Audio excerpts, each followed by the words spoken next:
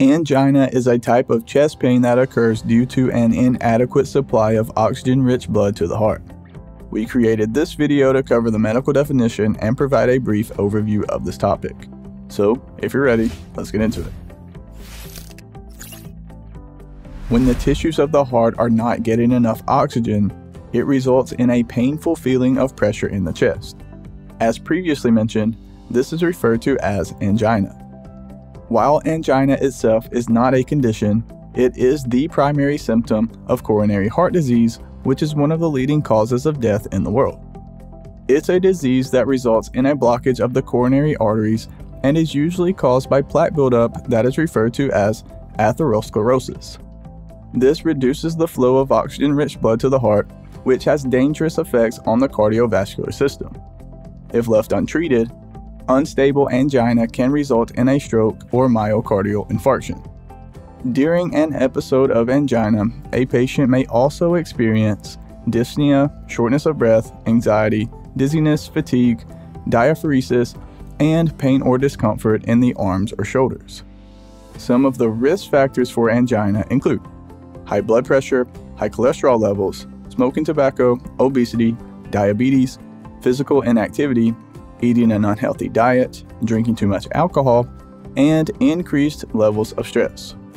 When angina is present, for further assessment, the following tests are recommended an electrocardiogram, chest x ray, CT scan, echocardiogram, exercise stress test, cardiac catheterization, and coronary angiography.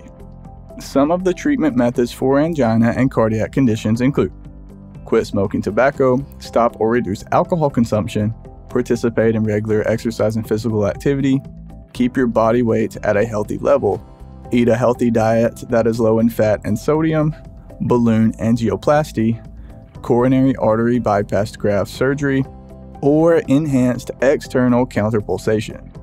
Again, for this video, we just wanted to provide you with a brief overview of this topic.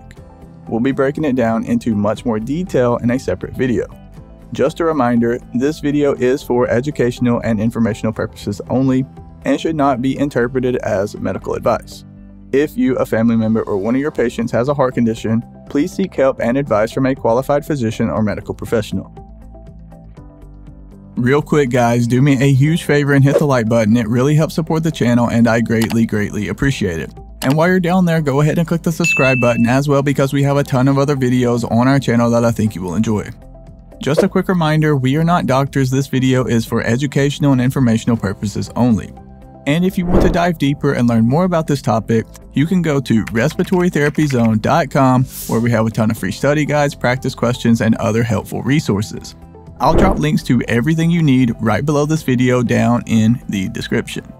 Thank you so much for watching all the way to the end. Have a blessed day, and as always, breathe easy, my friend.